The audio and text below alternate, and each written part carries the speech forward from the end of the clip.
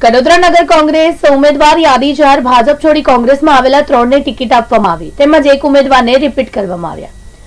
કોંગ્રેસ કડોદરા પાલિકામાંથી બીજા ટર્મ માટેની ચૂંટણી માટે કડોદરા કોંગ્રેસ સમિતિએ ગુરુવારે સાત વોર્ડમાં અઠ્ઠાવીસ ઉમેદવારોની યાદી જાહેર કરી.